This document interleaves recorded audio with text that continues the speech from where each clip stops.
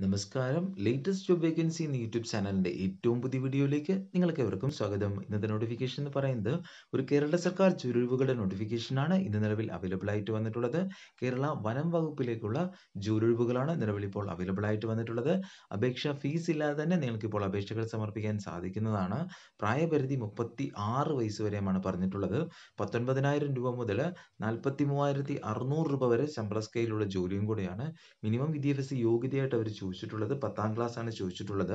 വീഡിയോയിൽ നമ്മൾ ചർച്ച ചെയ്യുന്നത് ഏതൊക്കെ വേക്കൻസികളാണ് നിലവിൽ അവൈലബിൾ ആയിട്ടുള്ളത് ഓരോ തസ്തികയിലേക്കും അപേക്ഷിക്കുന്നതിന് ആവശ്യമായിട്ടുള്ള വിദ്യാഭ്യാസ യോഗ്യതകൾ എന്തൊക്കെയാണ് ആവശ്യമായിട്ടുള്ളത് പ്രായപരിധി സ്കെയിൽ ഓഫ് പേ അപേക്ഷിക്കേണ്ട വിധം അപേക്ഷാ ഫീസിൽ എന്ന് പറഞ്ഞിട്ടുണ്ട് സെലക്ഷൻ പ്രൊസീജിയർ എന്നിവയാണ് നമ്മൾ വീഡിയോയിൽ ചർച്ച ചെയ്യുന്നത്.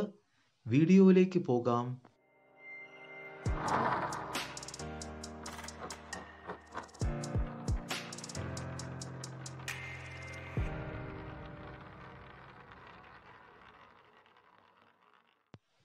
ലേറ്റസ്റ്റ് ജോബ് വേക്കൻസി എന്ന യൂട്യൂബ് ചാനൽ നിങ്ങൾ ആദ്യമായിട്ടാണ് കാണുന്നതെങ്കിൽ ദയവായിട്ട് ഒന്ന് സബ്സ്ക്രൈബ് ചെയ്യുക.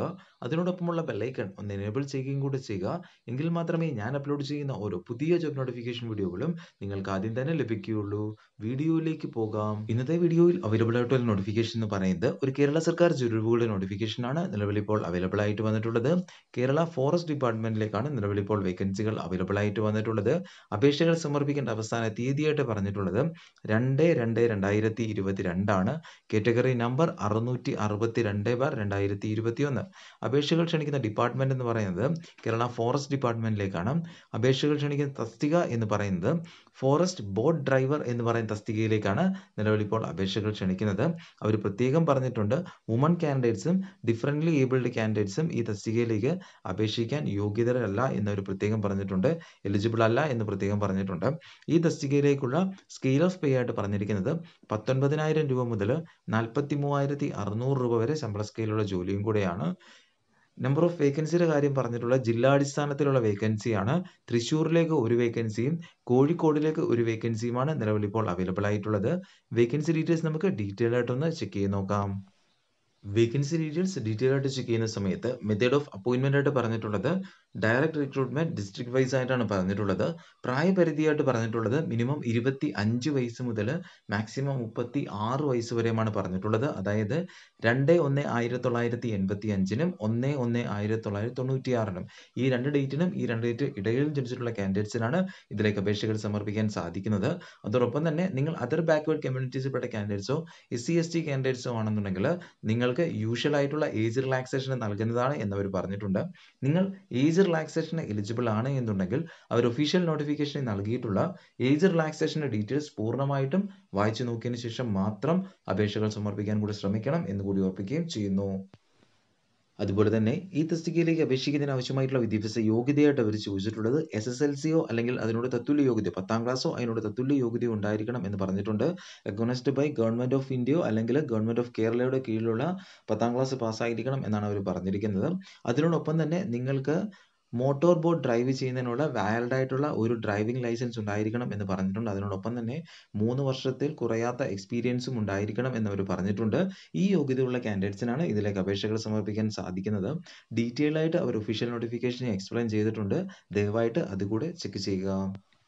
അതുപോലെ തന്നെ അവർ മെഡിക്കൽ ഫിറ്റ്നസ്സും ഫിസിക്കൽ ഫിറ്റ്നസ്സും ചോദിച്ചിട്ടുണ്ട്. ഈ യോഗ്യതകൾ കൂടെ എലിജിബിൾ ആയുള്ള കാൻഡിഡേറ്റ്സിനായിരിക്കും ഇതിലേക്ക് അപേക്ഷകൾ സമർപ്പിക്കാൻ സാധിക്കുന്നത്. ഡീറ്റെയിൽ ആയിട്ട് അവർ ഒഫീഷ്യൽ നോട്ടിഫിക്കേഷൻ എക്സ്പ്ലെയിൻ ചെയ്തിട്ടുണ്ട്. ദയവായിട്ട് അത് കൂടെ ചെക്ക് ചെയ്യുകയും കൂടെ ചെയ്യുക. അതുപോലെ തന്നെ അപേക്ഷകൾ സമർപ്പിക്കേണ്ട രീതിയായിട്ട് അവർ പറഞ്ഞിട്ടുള്ളത് ഓൺലൈനായിട്ടാണ് അപേക്ഷകൾ സമർപ്പിക്കേണ്ട രീതിയായിട്ട് പറഞ്ഞിട്ടുള്ളത്. വേറെ യാതൊരുവിധമായ അപേക്ഷാ മെത്തേഡും അവർ സ്വീകരിക്കുന്നതല്ല. ഇതൊരു കേരള പി എസ് സിയുടെ നോട്ടിഫിക്കേഷൻ ആയതുകൊണ്ട് തന്നെ നിങ്ങൾ അപേക്ഷകൾ സമർപ്പിക്കേണ്ടത് കേരള പി എസ് സിയുടെ വൺ ടൈം രജിസ്ട്രേഷൻ പോർട്ടൽ വഴി വേണം നിങ്ങൾ അപേക്ഷകൾ സമർപ്പിക്കാനായിട്ട്. നിങ്ങൾ ഇതുവരെയായിട്ടും വൺ ടൈം രജിസ്ട്രേഷൻ പോർട്ടലിൽ രജിസ്റ്റർ ചെയ്യാത്ത കാൻഡിഡേറ്റ്സ് ആണ് എന്നുണ്ടെങ്കിൽ നിങ്ങളുടെ റെലവന്റ് ഡോക്യുമെന്റുകളും സർട്ടിഫിക്കറ്റുകളും പാസ്പോർട്ട് സൈസ് ഫോട്ടോയും സിഗ്നേച്ചറും ആധാർ കാർഡ് ഡീറ്റെയിൽസും അപ്ലോഡ് ചെയ്ത് നൽകിയതിനു ശേഷം നിങ്ങൾ രജിസ്ട്രേഷൻ സക്സസ്ഫുള്ളി കംപ്ലീറ്റ് ആക്കിയതിനു ശേഷം നിങ്ങൾ എലിജിബിൾ ആണെന്നുണ്ടെങ്കിൽ അവർ ചോദിച്ചിട്ടുള്ള എലിജിബിലിറ്റി ക്രിറ്റീരിയ പ്രകാരം എലിജിബിൾ ആണ് എന്നുണ്ടെങ്കിൽ അപേക്ഷകൾ സമർപ്പിക്കുന്നതിനായിട്ട് നോട്ടിഫിക്കേഷൻ എടുത്തതിന് ശേഷം അപ്ലൈ നൗ എന്നുള്ള ഓപ്ഷൻ എനേബിൾ ആയി വരുന്നതാണ്. അതുവഴി നിങ്ങൾക്ക് അപേക്ഷകൾ സമർപ്പിക്കാൻ സാധിക്കുന്നതാണ്.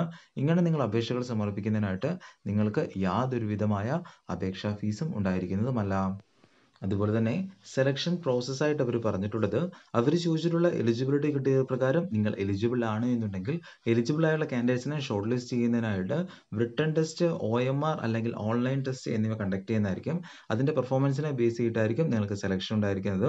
ടെസ്റ്റിന്റെ സിലബസും കാര്യങ്ങളും ഡീറ്റെയിൽ ആയിട്ട് അവർ കേരള പി എസ് സിയുടെ ഒഫീഷ്യൽ വെബ്സൈറ്റിൽ അപ്ഡേറ്റ് ചെയ്ത് നൽകുന്നതായിരിക്കും. അതിനെ ബേസ് ചെയ്ത് പ്രിപ്പയർ ചെയ്തതിനു ശേഷം മാത്രം ടെസ്റ്റിന് അറ്റൻഡ് കൂടി ശ്രമിക്കണം എന്നുകൂടി ഓർപ്പിക്കുകയും ചെയ്യുന്നു. ഇങ്ങനെ സെലക്ട് ആവുന്ന കാൻഡിഡേറ്റ്സിന് അവർ ഡ്രൈവിംഗ് ടെസ്റ്റ് ഉണ്ടായിരിക്കുന്നതായിരിക്കും ഫിസിക്കൽ എഫിഷ്യൻസി ടെസ്റ്റ് ഉണ്ടായിരിക്കുന്നതായിരിക്കും അതോടൊപ്പം തന്നെ നിങ്ങൾക്ക് മെഡിക്കൽ ഫിറ്റ്നസ് സർട്ടിഫിക്കറ്റ് ടെസ്റ്റും ഉണ്ടായിരിക്കുന്നതായിരിക്കും.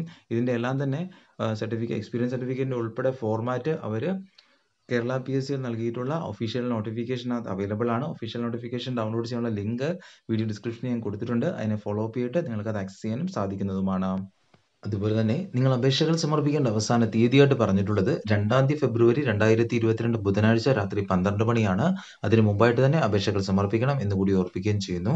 അതോടൊപ്പം തന്നെ അപേക്ഷകൾ സമർപ്പിക്കുന്നതിന് മുമ്പായിട്ട് ഒഫീഷ്യൽ നോട്ടിഫിക്കേഷൻ പൂർണമായിട്ടും വായിച്ചു നോക്കിയതിന് ശേഷം മാത്രം അപേക്ഷകൾ സമർപ്പിക്കാൻ കൂടി ശ്രമിക്കുക. അതോടൊപ്പം തന്നെ നിങ്ങൾക്ക് ഈ വീഡിയോ ഉപകാരപ്രദമായി എന്ന് തോന്നുകയാണെങ്കിൽ ദയവായിട്ട് നിങ്ങളുടെ കൂട്ടുകാരിലേക്കും ഒന്ന് ഷെയർ ചെയ്ത് നൽകുക. ഒരുപക്ഷെ അവർക്കും ഇത് ഉപകാരപ്രദമായേക്കാം. അതോടൊപ്പം തന്നെ നിങ്ങൾ ഇത്രയും നാളും നൽകി വരുന്ന സപ്പോർട്ടിന് വളരെയധികം നന്ദി. അടുത്ത പുതിയൊരു ജോബ് നോട്ടിഫിക്കേഷൻ വീഡിയോയുമായിട്ട് വീണ്ടും കാണുന്നവരേക്കും it signing off latest job vacancy